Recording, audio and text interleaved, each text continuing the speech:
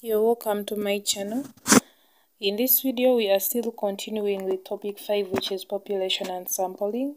And under this topic, we shall be looking at the non-probability sampling techniques. In our previous video, we looked at the probability sampling techniques.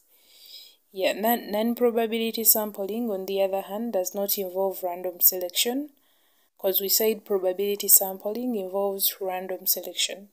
But non-probability, it doesn't involve random selection. Non-probability samples can cannot depend upon the rationale of the probability theory. We can divide non-probability sampling methods into three types, and that is conveniency, also known as accidental, then judgmental, and then purposive sampling. Those are the three types of non-probability sampling techniques. We said for probability sampling techniques, the population is always known. But for non-probability sampling techniques, the population is not always known, and selection is not by chance. Most sampling methods are purposive in nature, like they are done for a purpose. Yeah, because we always approach the sampling problem with a specific plan in mind.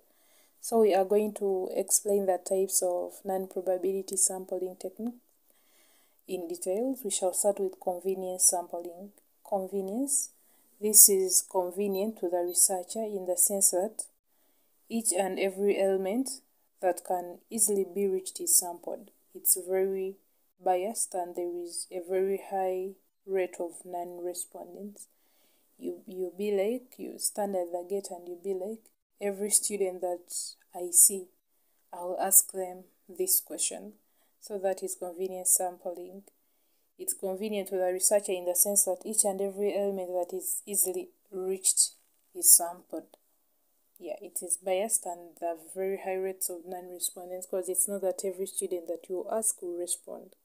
Yeah, some students are, are arrogant, others don't want to know, others they don't want to be disturbed. Another one is called judgmental sampling. This looks at the exact aim of the research. It focuses on the right respondents of the research. Purposive sampling, the exact aim, the exact reason as why you're doing research. Yeah, that's what we call purposive. Then judgmental. Judgmental, this is a highly biased technique where the researcher judges the element to include in his sample basing on his knowledge, skills, and experience you say according to this and this i guess this is the right thing that i'm supposed to do. You just judge according to your own experience and your own knowledge. That's what we call judgment. The researcher here has supreme choice on what elements to include in the sample. So it it depends on the researcher. It depends on his knowledge and his experience to decide what he will put in the sample and what he will not and that was all about the non-probability sampling techniques. Thanks for watching. Don't forget to subscribe, like, comment, share with your friends and watch my next video. We shall be looking at the difference between cluster and strat stratified sampling.